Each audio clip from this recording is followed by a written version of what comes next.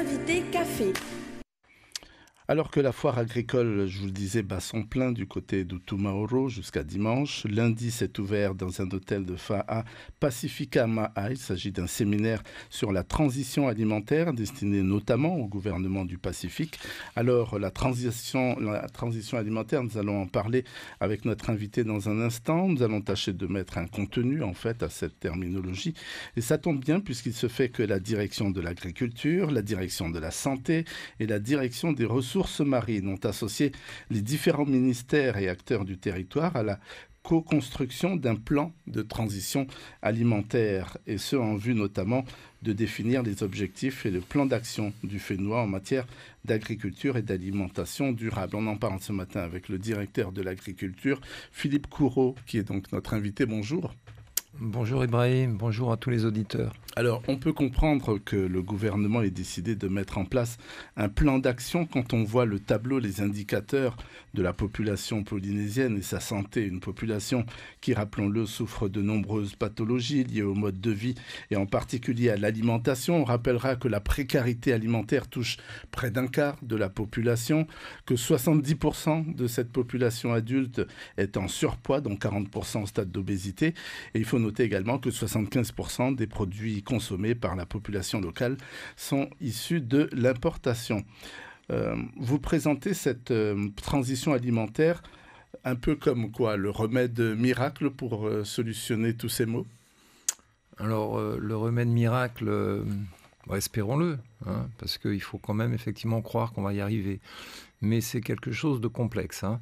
on en discutait encore hier avec le directeur de la santé, c'est une affaire de génération, au moins une génération.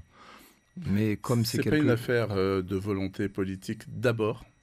Aussi, oui, bien sûr. Il faut une volonté politique, il faut du temps, il faut des actions bien construites, coordonnées dans la durée.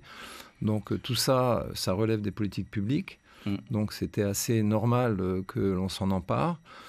Euh, la transition alimentaire, c'est un sujet qui aujourd'hui concerne euh, l'ensemble de la planète. On n'est pas, on n'est pas les seuls, donc c'est, c'est important d'avoir conscience aussi. Il ne faut pas faire culpabiliser la population euh, outre mesure. Hein. On est, c'est le système alimentaire mondial qui a changé, qui finalement quelque part nous, nous, nous porte dans ces, dans ces problèmes. Et on ne peut pas changer les choses ici. Si, si, si, on, on, peut changer les choses et la Polynésie a beaucoup d'atouts pour réussir. Donc justement, le plan de transition alimentaire, ça, vise à, mettre en avant ses atouts, à engager les actions, mais, c'est quelque chose qui doit se faire dans la durée. Mm. Donc là, on a établi le, plan de transition alimentaire, il va être présenté à l'Assemblée, il va être euh, approuvé, on va, je l'espère, mettre en place une délégation interministérielle pour coordonner ces actions, et on va poursuivre sur le terrain, parce qu'en réalité, les actions sont déjà entreprises. Il s'agit d'en faire un peu plus, euh, de le faire un peu plus fort et, d'entreprendre quand même dans notre plan de transition qui a à peu près une 90 actions, on en a une soixantaine de nouvelles et on en a une trentaine qui sont des actions qu'on veut encore hmm. renforcer. Alors des exemples forts de cette transition alimentaire pour que ça parle aux gens, à ceux qui nous écoutent. Alors, euh, d'abord, c'est effectivement, et je vais être très prudent quand même en disant ça, c'est globalement ce qui se verra de l'extérieur ou qui se verra au quotidien dans les familles, c'est changer nos comportements alimentaires ça ne peut pas euh, se faire sans qu'effectivement ces éléments évoluent. Et ça, comment on fait? On ne peut pas le décréter, ça ah, Bien sûr, on ne peut pas le décréter. C'est pour ça, c'est un ensemble de choses. On a eu un exposé extrêmement brillant euh, du, titulaire de la chaire de, l'alimentation de l'UNESCO en, démarrage de mm. notre séminaire, qui nous a fait un exposé, euh, qui nous a expliqué comment globalement on change des comportements. C'est pas propre à l'alimentation, c'est un ensemble de choses. Euh, et il y a effectivement le coût économique de l'alimentation, il y a la représentation sociale, il y a les éléments culturels et il y a ses propres choix et volontés personnelles. Donc il faut que tout ça euh, concourt vers le même but. Euh, voilà déjà le premier, premier élément. ensuite, il faut, il faut bien comprendre donc qu'il y, a, qu'il y a des enjeux. Il y a un enjeu de santé extrêmement important. Ça, je crois que la population commence à le comprendre. Il y a un enjeu de sécurité également. La crise du Covid nous a montré les risques importants à trop dépendre de l'extérieur. Il faut que notre alimentation soit produite localement. Euh, partout, euh, dans, les petites îles, dans les atolls par exemple. Et il y a un enjeu environnemental parce que l'alimentation a un impact important sur l'environnement. Hmm.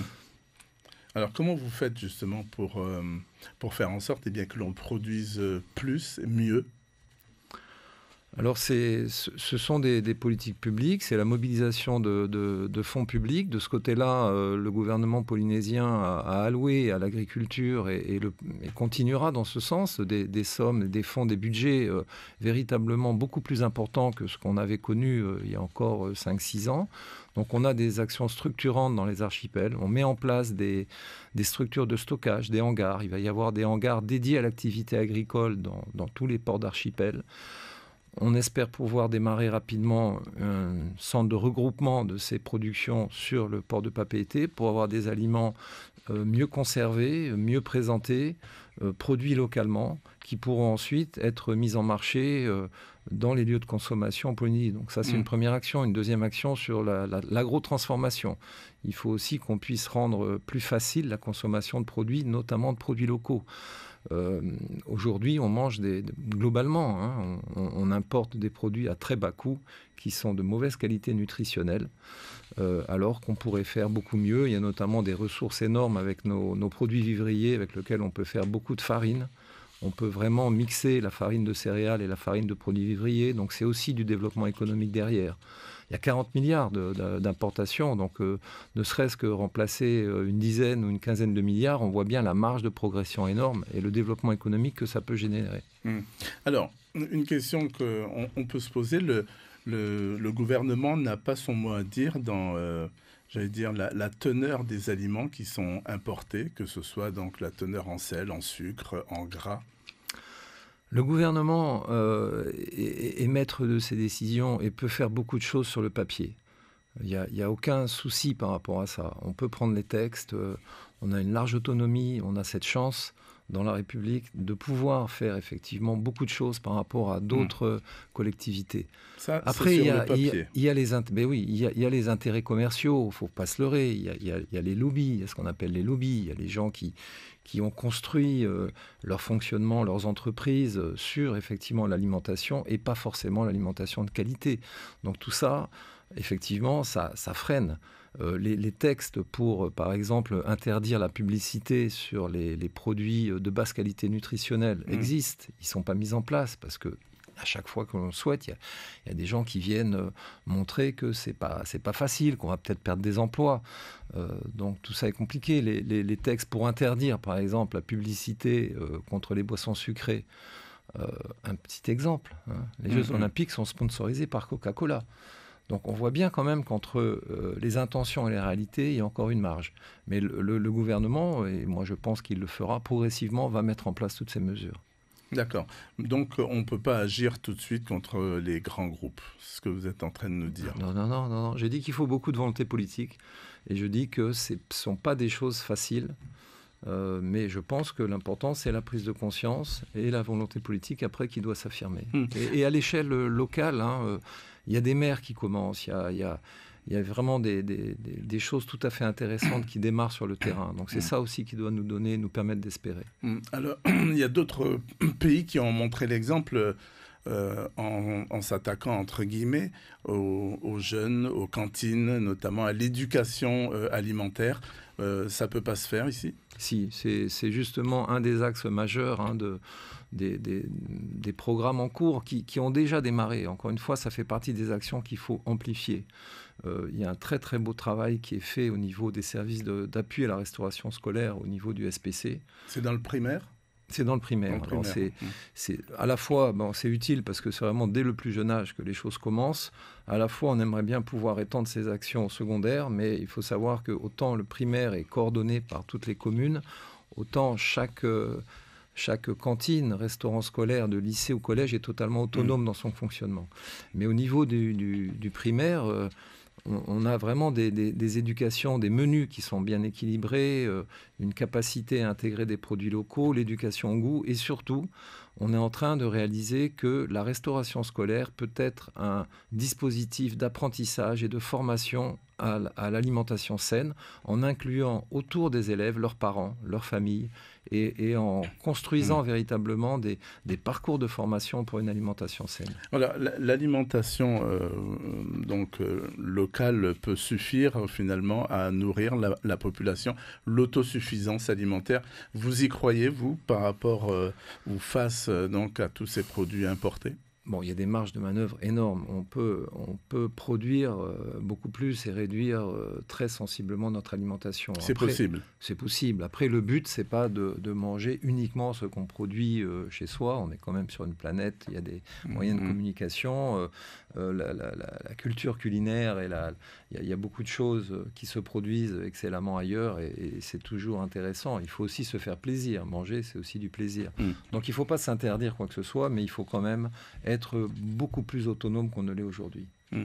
Alors, chaque année, on injecte quand même plus de 5 milliards de francs, en plus d'un des budgets agricoles et de pêche, dans l'appui, l'appui à l'alimentation. Alors, j'ai envie de vous demander finalement où part cet argent, à quoi est-ce qu'il sert véritablement? Parce que les conséquences sur la santé, on les voit. Hein. Ah, actuellement, euh, il y, avait justement, c'est ça la nouveauté d'un plan de transition alimentaire, c'est qu'on essaye de coordonner et de placer l'alimentation au centre de la réflexion, alors qu'auparavant on plaçait euh, la santé toute seule, on plaçait l'agriculture toute seule, on plaçait les ressources marines, on plaçait l'aide aux familles euh, toute seule. Maintenant, on a placé l'alimentation au centre et on s'aperçoit qu'il y a des actions différentes à, mener. Alors, si on parle de l'aide alimentaire, il y a effectivement environ au moins 5 milliards d'aide alimentaire directe qui aujourd'hui euh, euh, dépensée par la Polynésie dans son budget au travers des bons alimentaires, au travers de l'aide à la farine. C'est un grand débat. aujourd'hui, on, on met 800 millions pour subventionner la farine et faire une baguette à peu près à 60 francs. La baguette, on sait que ce n'est pas un bon produit. Est-ce que ces 800 millions, on ne peut pas en faire autre chose? Donc c'est des discussions. Il y a aussi toute l'aide justement à la restauration scolaire. C'est 1,5 milliard qui est dépensé par la CPS chaque année. Donc euh, effectivement, euh, ben, on voit bien que ça ne suffit pas. Mais cette aide alimentaire, c'est surtout pour la précarité. C'est surtout pour mmh. aider les, populations les plus, les, plus en précarité à, se nourrir. L'enjeu, c'est de faire en sorte que cette aide alimentaire euh, concerne des produits de bien meilleure qualité. Mmh. Et il y a un projet de banque alimentaire fruits et légumes qui a été élaboré et qui se mettra très probablement en place euh, ces prochains mois. Mmh. Alors pour avoir une, agriculture fiable, il faut la faire fonctionner. Euh, on, a vu la relève est très difficile. Aujourd'hui, est-ce que dans votre plan d'action, vous avez euh, un volet qui concerne la jeunesse, par exemple l'appui ou l'aide à l'installation, des choses comme ça? Parce que sans relève, ça va être difficile. Oui, tout à fait. Alors le, le schéma directeur d'agriculture s'est fixé un objectif de maintien du nombre d'actifs dans l'agriculture Hein, on était à peu près à 15 000 actifs. On fait un recensement général agricole en ce moment même qui va nous donner une photo très précise. L'objectif, c'est de rester à 15 000 dans 10 ans, ce qui veut dire finalement faire entrer 3 000 personnes, puisque 3 000 sortiront de, de par l'âge. Il y a des dispositifs extrêmement incitatifs, sûrement mal connus, Aujourd'hui, un jeune qui veut démarrer, hmm. qui a euh, un terrain, c'est un élément, on pourra peut-être y revenir, le problème foncier reste un gros problème, mais un jeune qui veut démarrer, qui, a un accès au terrain, il peut pendant trois ans bénéficier d'une formation et d'un appui à hauteur de 90 000 francs par mois pour monter et créer son activité. Et on en a, on en a même pas 30, on aimerait bien arriver à 50 par an qui disposent, et on ne les a pas. Alors, euh, vous voyez, y a, hmm. les dispositifs existent, il faut les faire connaître. Et un jeune qui n'a même pas de terrain Ah, c'est plus compliqué. Le, foncier, effectivement, c'est la base. Ben, il y a des politiques foncières, c'est-à-dire que d'une part, il y a, les, domaines qui appartiennent au pays. Euh, on en a actuellement, la, direction de l'agriculture a une particularité. On a une grosse, grosse agence de, gestion de terres pour les agriculteurs. On, on, a près de 1200 hectares en location qui sont gérés, euh, où on essaye de faire en sorte que ces terrains soient, soient cultivés. Donc, et, bien évidemment, les, gens sollicitent du terrain et on, instruit les dossiers et on met à leur disposition ces terres. Et il y a aussi euh, la nécessité d'aménager les terres privées. Il y a encore un une disponibilité en terres privées importante il faut qu'on puisse plus facilement qu'aujourd'hui faire des pistes d'accès, éventuellement des réseaux d'eau, euh, sans que cela coûte quelque chose mm. euh, aux propriétaires. Et c'est le but d'une loi de pays qui va être, qui va être mise en œuvre. Alors, on, fait, on terminera par euh, juste un mot sur Pacifica Maha, le séminaire, donc qui se poursuit? Est-ce qu'il y a des, parce que j'ai vu qu'il y a des expériences de la région qui sont exposées, est-ce qu'on peut s'en inspirer? Oui, au travers des échanges que l'on a, euh, même si le ministre fidjien disait que toutes les situations sont, vraiment euh, particulières et spécifiques. Mais oui, on peut s'en inspirer. À Fidji, il y a une industrie agroalimentaire extrêmement performante. Euh, à Nouméa, on a des, initiatives privées euh, d'agriculteurs transformateurs mm. qui travaillent beaucoup la farine. Il y, a plein de choses, hein, des initiatives un peu partout. Donc oui, c'est inspirant ce genre de, ce genre de séminaire. D'accord. En tous les cas, pour nous résumer, l'autosuffisance alimentaire en Polynésie, vous y croyez oui. Sous quel délai? Euh, l'autosuffisance, 100% d'autosuffisance, aucun pays aujourd'hui euh, n'est totalement refermé et, produit son alimentation à 100%. Mm. Donc les choses doivent s'améliorer.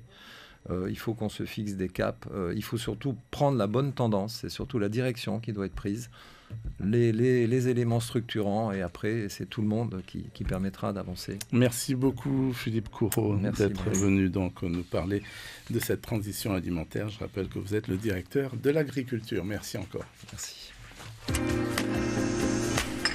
L'invité café.